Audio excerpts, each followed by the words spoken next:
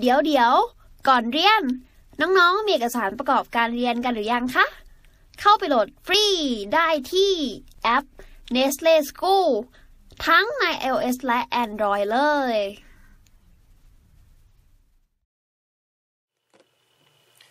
ข้อ 14 นะครับ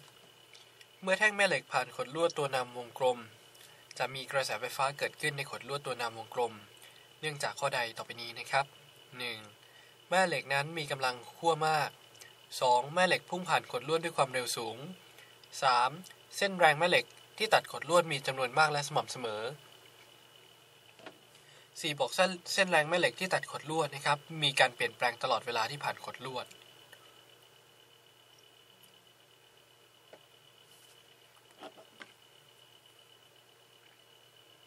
ข้อนี้ไม่ยากแต่วัด concept เกี่ยวกับในเรื่องของกระแสไฟฟ้าเหนี่ยวนำนะครับ ของไมเคิลฟาราเดย์เนอะนะครับไอ้ตัวกระแสไฟฟ้าเหนี่ยวนำที่เกิดขึ้นได้เนี่ยมันเกิดขึ้นจากอะไรครับ มันเกิดขึ้นได้เนื่องจากว่ามีการ keyword คือตรงนี้ครับคำว่าการเปลี่ยนแปลง ของสนามแม่เหล็กนะครับ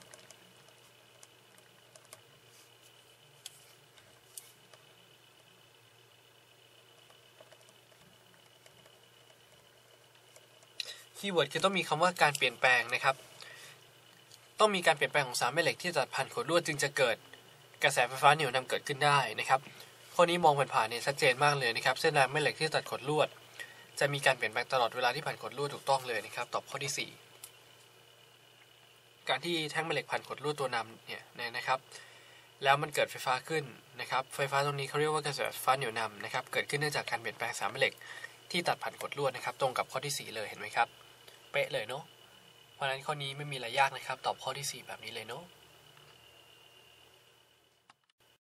เรียนจบแล้ว อย่าลืม เข้าไปฝึกทำข้อสอบแบบจับเวลา ในแอป Nestle School กันด้วยนะจ๊ะ ถ้าน้องๆมีคำถามสงสัย ไม่เข้าใจตรงไหน